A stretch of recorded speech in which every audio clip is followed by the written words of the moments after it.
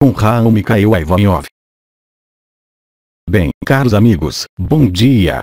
Vocês me veem muito contente por reencontrá-los hoje.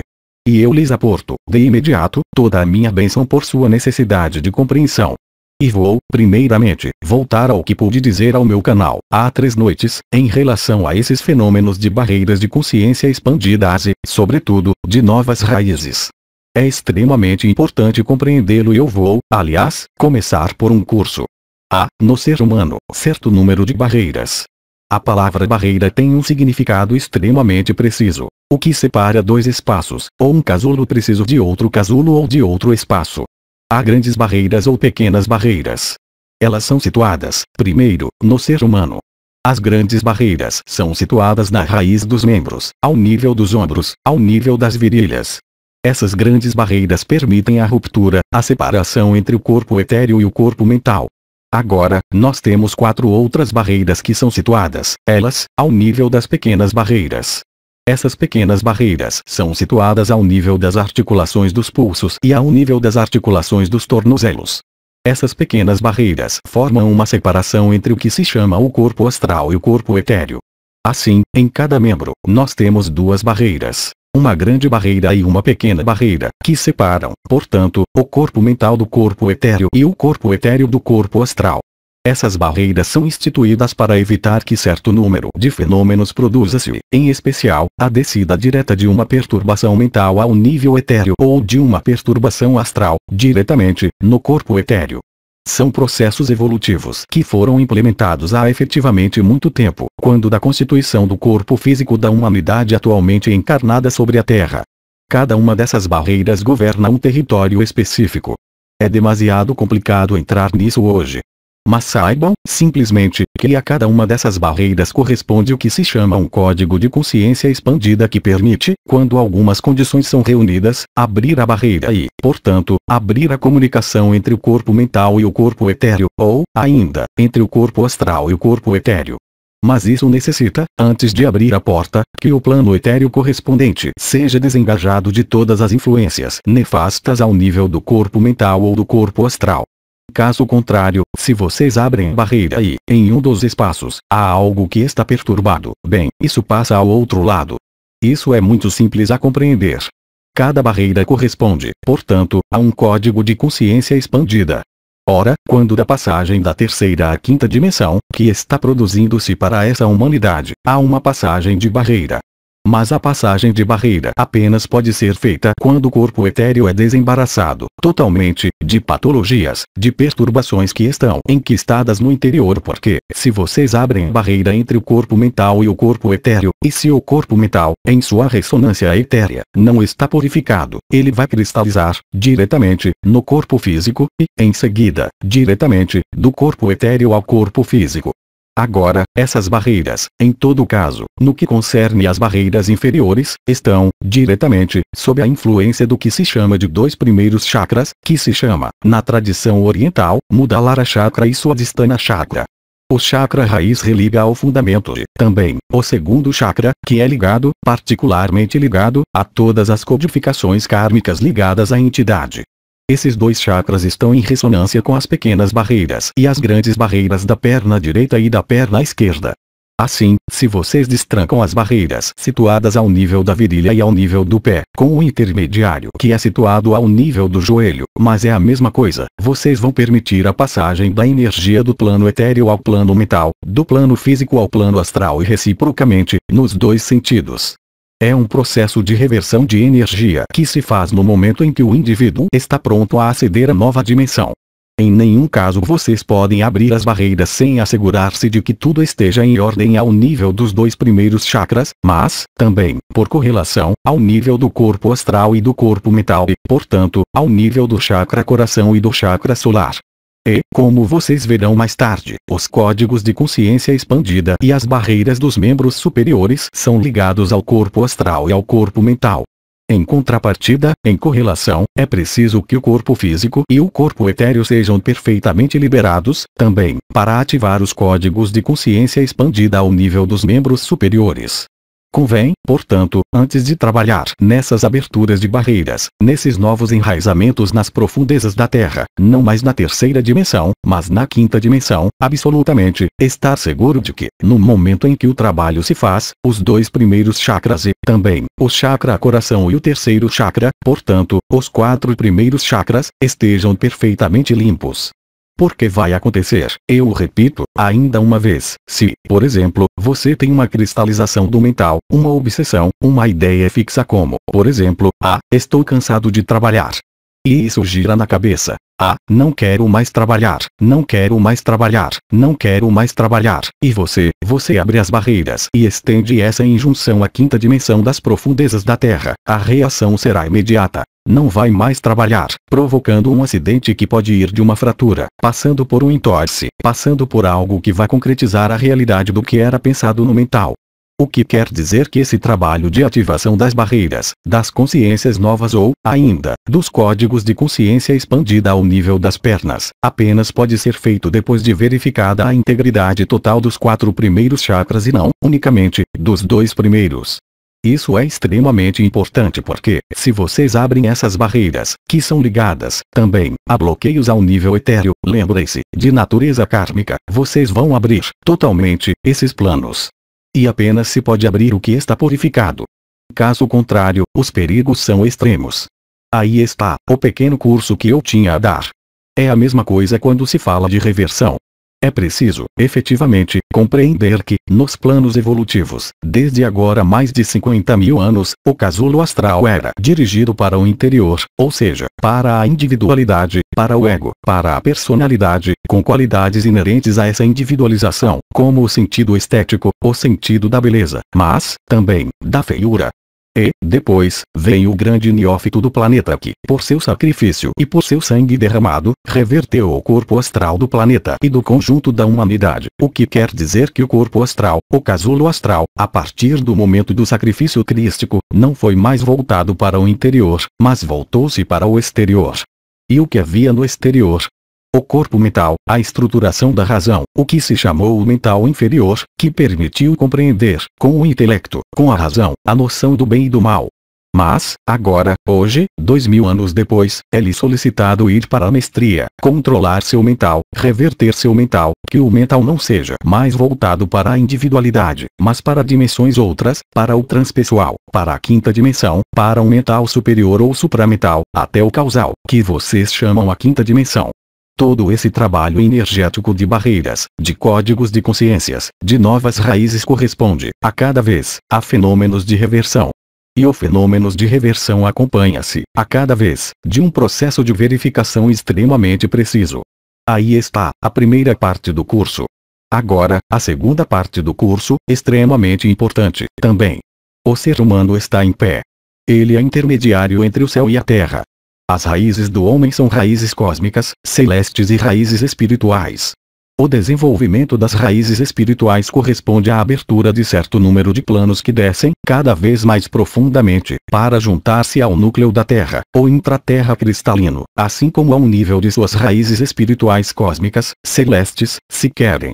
Há uma abertura progressiva dos planos, em função do grau de consciência do ser humano que habita esse corpo e que vai permitir, de algum modo, abrir, pouco a pouco, as barreiras, as portas de abertura para outros planos terceira, quinta, nona, décima primeira, décima oitava etc. Agora, é evidente, no plano espiritual, que não se pode abrir os planos de luz da décima primeira dimensão no ser que se serviria dos poderes da décima primeira dimensão para seu ego pessoal, para satisfazer sua pequena personalidade, porque isso seria extremamente perigoso. É o mesmo para a abertura das raízes situadas embaixo. Ora, a natureza faz bem as coisas, as raízes celestes são separadas das raízes terrestres por uma interface que é o homem.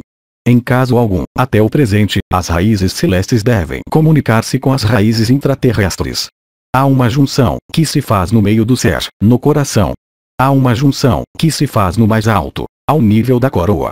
Há uma junção, que se pode fazer no mais baixo, no períneo e sacrum. Mas, em nenhum caso, essa junção pode ser feita acima da cabeça e, ainda pior, abaixo dos pés.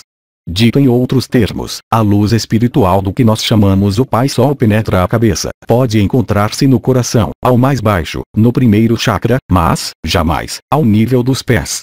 Agora, a energia do intraterra, do filho terra, do filho luz, se preferem, pode encontrar-se ao nível da bacia, ao nível do coração, mas, em caso algum, ao nível da cabeça e, ainda menos, acima da cabeça.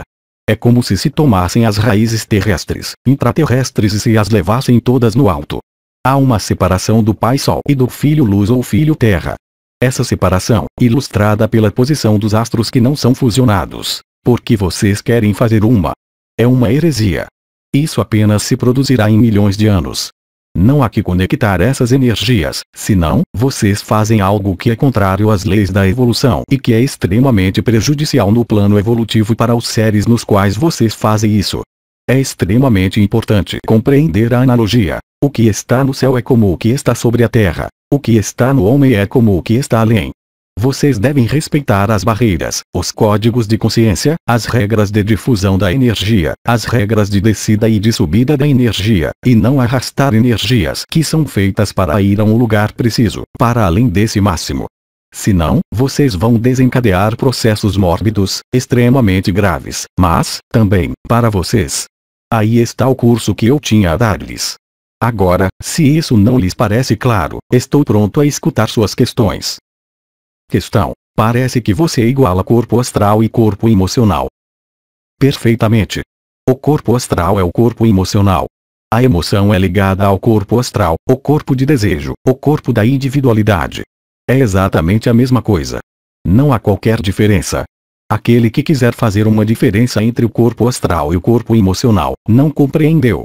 Há, certamente, subplanos, subplanos inferiores e subplanos superiores, voltados ou para o corpo físico, ou para o corpo mental. Mas é a mesma coisa, é o mesmo casulo de que eu falo. Questão. Em alguns ensinamentos, o corpo astral é associado às memórias kármicas. Cara amiga, as memórias kármicas situam-se em todos os estágios. Ao nível do corpo físico, corpo etéreo, corpo astral, corpo mental e do corpo causal. Não há regras precisas. Quando há uma vibração kármica, ela toca todas as estruturas, se ela está ativa. Ela pode manifestar-se no corpo físico. Entretanto, há dois planos vibratórios extremamente importantes que são, eu diria, de algum modo, as interfaces. O segundo chakra, sob o umbigo, e o chakra laríngeo. Aquele que está sob o umbigo corresponde ao corpo etéreo. Ele codifica o karma. E o quinto chakra corresponde ao corpo causal. O corpo causal possui duas partes. Um corpo sem costuras, o corpo imortal, o corpo de glória, aquele que se vai queimar, no momento da transfiguração, que fará com que não se tenha mais necessidade de reencarnar-se, mas, também, uma parte interior, na qual está inscrito tudo o que deve acontecer nessa vida e o que o átomo embrião, a alma espiritual, decidiu manifestar em sua encarnação.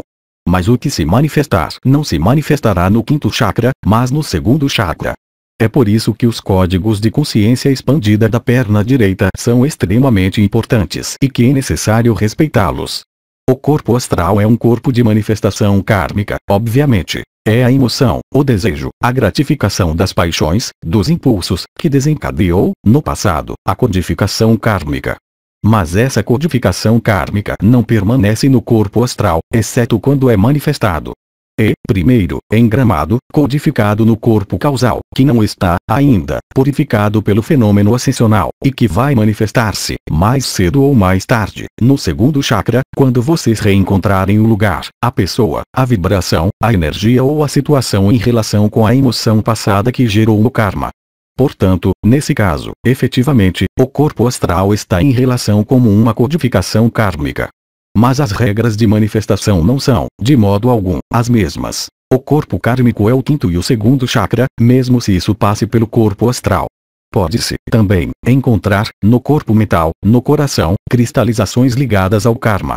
Outra questão. Questão. O curador pode destrancar uma porta sem estar totalmente consciente disso.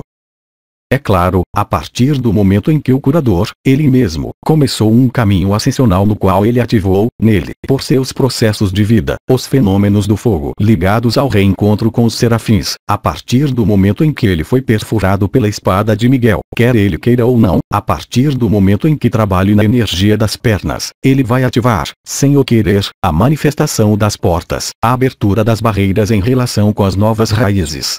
Basta, para isso, passar a mão, não importa qual mão, aquela que está de posse do fogo. Portanto, a resposta é sim.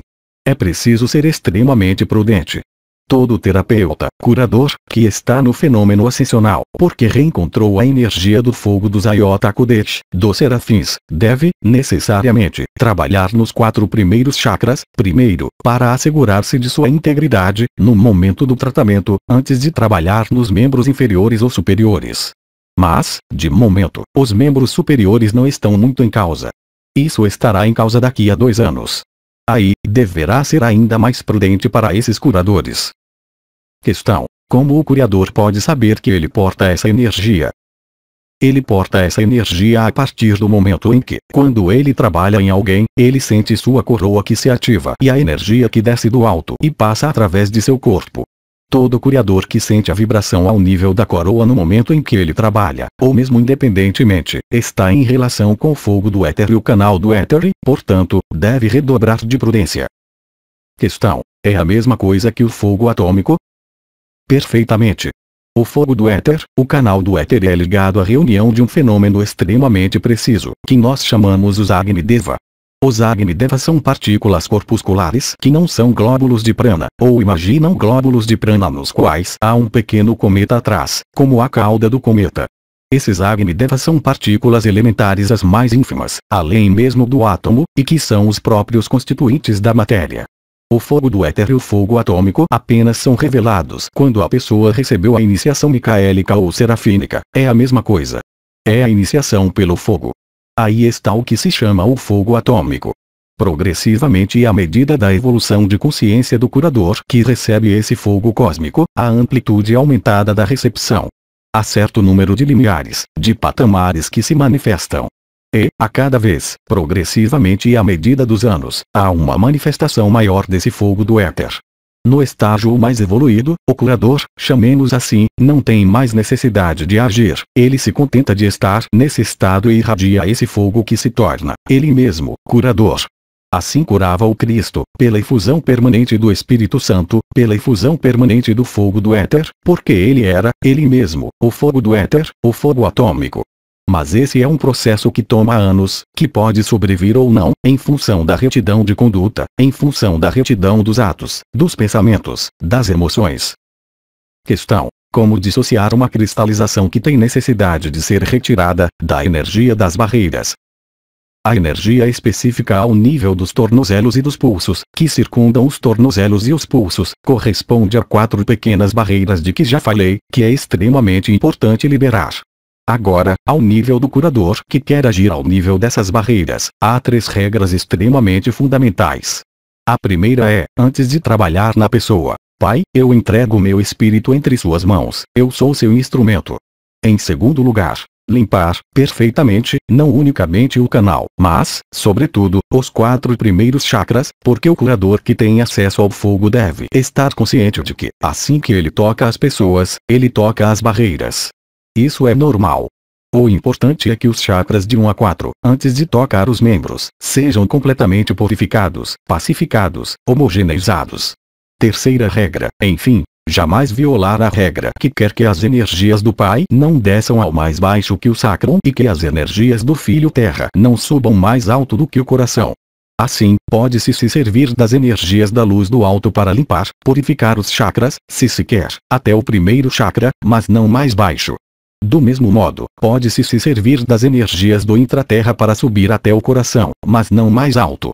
São as três regras essenciais para evitar os inconvenientes e os aborrecimentos. Questão: Como se pode reconhecer um chakra que está puro? Pela vibração que é emitida por um chakra no plano etéreo, sem ir e procurar a 3 metros. O plano etéreo ou astral, eventualmente, deve dar a percepção de algo que é calmo, que gira, calmamente, sem zonas de sombra, sem opacidades, sem confrontos específicos ao nível do chakra. Agora, pode-se tomar, também, a energia luz para limpar o chakra. Em todo caso, não se deve, jamais, começar a trabalhar, diretamente, nos membros. Jamais, jamais. Sempre começar pelos quatro primeiros chakras ou pela coroa, se se quer, e descer a energia. Em seguida, sentir os chakras. Um chakra que possui uma manifestação kármica ou um desequilíbrio, qualquer que seja, sente-se com a mão, se tal é o caso, é preciso limpar o chakra, mesmo se, efetivamente, a purificação desse chakra possa não ser definitiva, mas permitirá, no momento dos cuidados, no momento em que o trabalho de purificação é feito, aceder às barreiras e às pequenas barreiras que são extremamente importantes ao nível dos tornozelos e dos pulsos. Aí está o protocolo extremamente preciso a seguir. Questão. E pode-se limpar o sacrum por trás, a limpeza do sacrum por trás assimila-se, não a limpeza do primeiro chakra, assimila-se a limpeza dos canais que estão em relação com o sacrum, ou seja, o que se chama, na tradição oriental, a Shushumna, mas, também, os canais solilunares. Lembrem-se de que a Shushumna está ao centro, mas que há, de cada lado, Inga e Pingala, ou seja, as correntes solares e lunares, o fio de ouro e o fio de prata, o fio de cobre estando no meio. E cada corrente de energia tece o que se chama o K do seu médico e que, ao nível do sacrum, faz uma limpeza prévia da Shushumna, mas, também, de Inga e Pingala. Mas isso não corresponde ao primeiro chakra, mesmo se o primeiro chakra passe por aí. A limpeza dos chakras deve fazer-se na parte anterior. Questão. O fato de tocar o sacrum ou um ponto entre as omoplatas ou, ainda, o occipital, pode levar a uma transgressão das barreiras de que você fala, a priori, absolutamente não. Nós não estamos no mesmo tipo de circuito. O circuito de que você fala, ao nível do sacrum, a chuchuna, inga e pingala, a mesma coisa no alto das costas, entre as omoplatas, aí se encontram as raízes das asas, é ligado à energia central, enquanto os membros têm a particularidade de serem energias laterais. Não é, de modo algum, a mesma coisa. O fenômenos de expansão de consciência concerne, no primeiro tempo, a uma lateralização da energia que passa pela amplificação da Sushumna, mas, também, evitando um processo de expansão demasiado brutal ao nível das grandes raízes ou das grandes barreiras, por exemplo, que estão situadas das raízes dos membros. Entretanto, a energia lateral nada tem a ver com a energia central. Quanto mais se sobe em consciência, mais a energia pode ser perigosa, porque ela se aproxima do fogo atômico e do fogo primordial. Depois, convém ter a mestria total de nossos feitos e gestos, de nossos pensamentos, de nossas ações, para chegar à mestria da energia. Agora, a regra simples a respeitar, que eu já dei. A partir do momento em que essas regras são respeitadas, não pode haver estragos, desordens importantes para o Criador e para o sujeito. É preciso pedir a autorização ao Pai, quando se toca aos níveis do fogo atômico. Não é mais a alma que se deve dirigir, é a divina fonte. Não se pode abrir o que não está pronto. Se vocês abrem as válvulas da barragem antes que o terreno seja preparado, vocês correm a catástrofe para vocês e para aquele em quem vocês o fazem. Os códigos de consciência expandida são coisas extremamente importantes. São coisas extremamente novas para a humanidade atual. Convém disso fazer um uso extremamente preciso, sobretudo, para aqueles que receberam o fogo. Questão. Como saber se é um momento ou não de abrir os chakras raízes? O momento é oportuno a partir do momento em que a pessoa não exprime uma vontade de luz espiritual, mas já recebeu certa forma de luz espiritual. A partir do momento em que ela tem certo sinal preciso de ativação dos chakras, como zumbido no ouvido esquerdo, o canto da alma, a percepção da vibração no terceiro olho, no chakra do coração, no sétimo chakra, como, por exemplo, o sentido elétrico, magnético, extremamente desenvolvido, como a capacidade para sentir as energias dos outros seres humanos, das entidades, da natureza. Estes estão prontos para fazer esse trabalho. Mas, todos os outros, esqueçam, vocês não vão curá-los. Vocês vão matá-los. Esse trabalho das novas barreiras e das novas raízes é destinado, unicamente, àqueles que começaram um processo de elevação de consciência. Não é, de modo algum, um processo terapêutico. Questão. A expansão de corpos é um critério de abertura da pessoa. Sim, é claro. Questão. Poderia falar-nos do chakra que se desenvolve entre o ar e a base. É o chakra intraterra. O primeiro chakra é o chakra raiz, mas, também, o chakra terra, ao nível do elemento. Portanto, o chakra novo é o chakra intraterra. Seu papel é, simplesmente, favorecer a comunicação entre o corpo astral, o corpo mental e o corpo etéreo. Aceder à quinta dimensão, aceder à fonte, aceder à fonte intraterra, estar em comunicação com a quinta dimensão num corpo encarnado e não desencarnado. Aí está o papel essencial. É o de nos reconectar à nossa fonte, coisa que não era mais possível desde o aparecimento da terceira dimensão, com a vinda de Atlanta e a criação do corpo astral ou do corpo emocional. Hoje, esse corpo astral, emocional, que foi transformado, profundamente, no momento da energia crística, no momento de sua vinda, deixa o lugar a uma reversão do corpo mental, por sua vez, não mais para o ego, mas para um mental supramental. E esse supramental está em conexão com o intraterra de quinta dimensão, o coração cristalino do planeta, a memória akáshica do planeta. Mas, também, com a quinta dimensão, ao nível cósmico. Questão. Você tem outras preconizações para os terapeutas? Bem, a mais importante é respeitar a retidão. Quando se recebe essas qualidades energéticas ao nível da coroa, é preciso integrar essas energias. São energias de transmutação. Sobretudo, nesse momento, elas são extremamente violentas. Convém que essa energia desça ao mais profundo do ser, até o baixo ventre, que ela se difunda.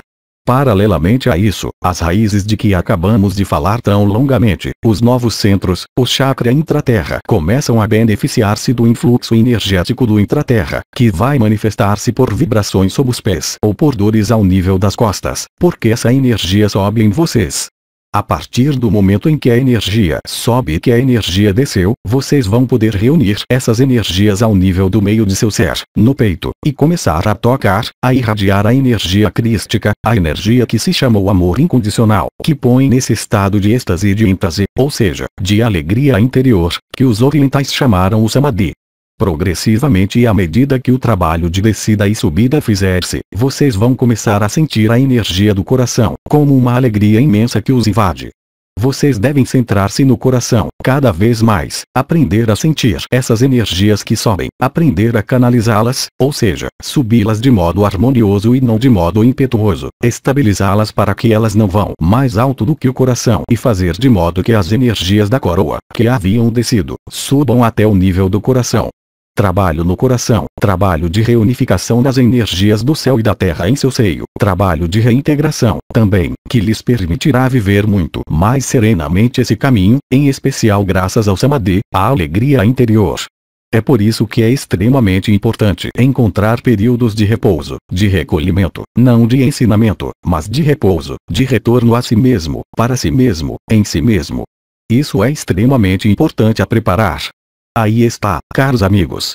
Eu lhes aporto, agora, todo o meu amor e toda a minha bênção, após essas precisões e esse pequeno curso.